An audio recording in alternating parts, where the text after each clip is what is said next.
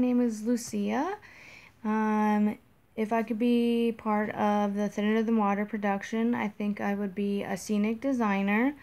Um, in this production, there are 13 scenes and two parts. So you have to create the sets um, in a timely fashion, uh, set the mood and atmosphere, and then you could all you can be a part of the play with just without the acting. So I think that's pretty sweet.